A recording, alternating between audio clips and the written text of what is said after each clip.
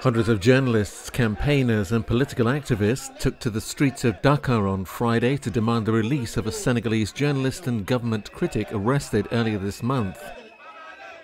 Representatives of journalists' unions marched along the boulevard near the city centre, chanting Free Pape Alé Niang and protesting at other detentions.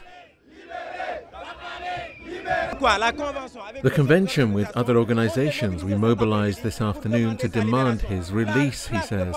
Pape Alé Niang's place is not in prison, but in the newsroom. That is why we will lead the fight. We're going to fight for the release of our colleague Pape Alé Niang, who has only done a service to Senegalese democracy. Pape Alé Niang runs the online news website Dakar Matin and has been critical of President Macky Sall's government. He was arrested on November the 6th and charged three days later with a number of offences, including spreading false news.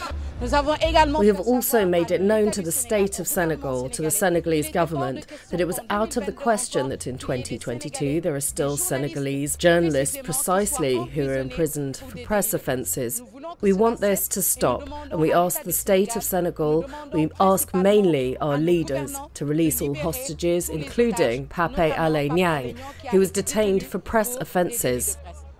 Niang's detention has sparked a wave of criticism from the press and civil society against the Senegalese president. It comes as this year's World Press Freedom Index ranked Senegal down 24 places from last year.